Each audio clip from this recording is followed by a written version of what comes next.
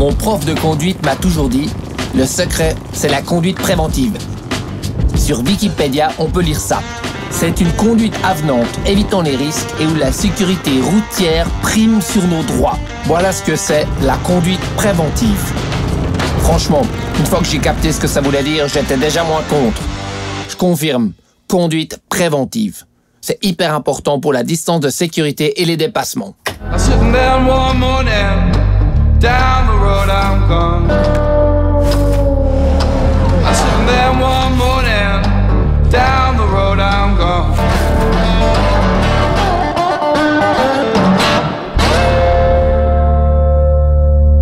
Les tamponnements, c'est un tiers de tous les accidents, tu vois. Et on pourrait en éviter la plupart en gardant la bonne distance de sécurité.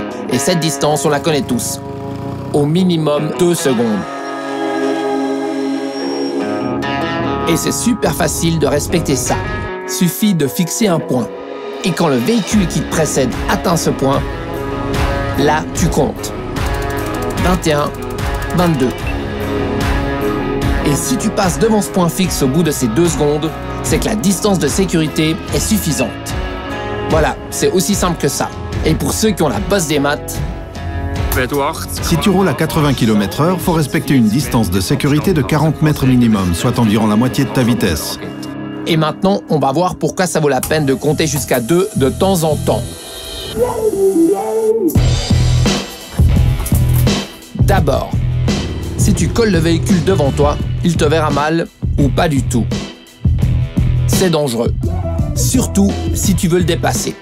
Parce que s'il t'a pas vu venir et qu'il dépasse au même moment, eh ben il te dégomme. Et un autre exemple, démonstration Miss Phoenix. Elle suit le tracteur de trop près.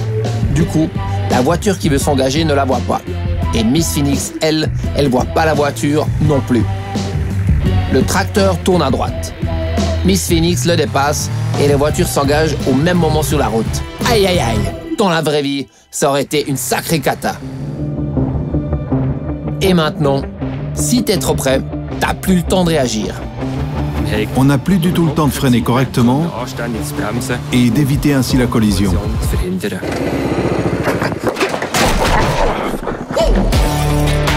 Et enfin, si tu te fais choper en train de coller à la voiture qui est devant toi, tu peux lui dire adieu à ton permis. Respecter la distance de sécurité, ça t'aide aussi quand tu dois dépasser. T'as une meilleure vue d'ensemble et tu as aussi plus de temps pour ton contrôle visuel vers l'arrière. Mais la bonne technique, c'est Wevo qui va nous la montrer avec les commentaires de l'expert. 22, 21, go Rétroviseur droit, rétroviseur gauche, regard vers l'arrière, clignotant, commencer à dépasser et ne pas se rabattre trop tôt sur la droite.